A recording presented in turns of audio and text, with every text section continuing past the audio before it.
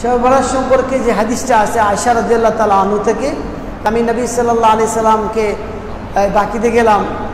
নবী সাল্লাহ আলি সাল্লাম দেখলাম তিনি এই দোয়া করছেন। এটাকে কেন্দ্র করে অনেকে এই শবে বরাতের দিন আপনার কবর জিয়ারত করে, কিন্তু হাদিসটা যেহেতু জাল, আর কেউ বলছেন জাইফ কাজে কাজে এই হাদিসে আমল করা যাবে না। আর নির্দিষ্ট করে এবাদত করার নাম হচ্ছে বেদাত। তাই কাজে কাজেই সেদিন এই কবরে গিয়ে জিয়ারত করা হাদিস সম্মত না, তা আমাদের কবরে গিয়ে সেদিন যাওয়াটা ঠিক হবে না। আপনি যে কোনো দিন জিয়ারত করতে পারেন, কিন্তু আপনি সেদিনই যাচ্ছেন কারণটা কি? এই হাদিসে কেন্দ্র করো।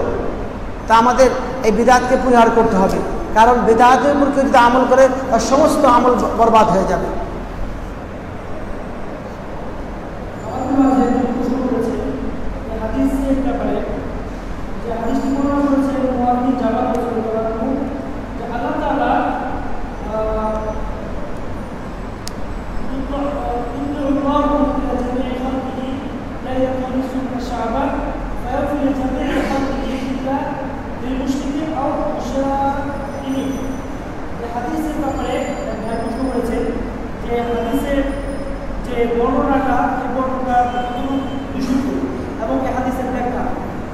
এখানে একটা হাদিস আছে, এই হাদিসটাও অধিকাংশ লেখা জাইফ।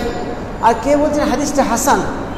যে আল্লাহ রব্বুর আলমিন সেবা বরাতের দিন তিনি অবগত হন, তিনি বান্দার প্রতি মানে তার আমলের প্রতি তিনি মনোনিবেশ করেন এবং সবাইকে ক্ষমা করে দেন। তবে যারা মুশ্রিক এবং যারা হিংসুক তাদের ক্ষমা করেন না এটা কিন্তু সবাইবেলাতে কোনো ফজলের বর্ণনা হলো না এবং সবাইবেলাতে যে নামাজ পড়তে হবে এটা কোনো না কিন্তু হাদিসের অধিকাংশ যারা মহাদিসিন তারা বলছে হাদিসটা জাইব আর কেউ কেউ বলছেন হাদিসটা হাসান তবে এর প্রতি আমল না করে আমাদের উচিত হবে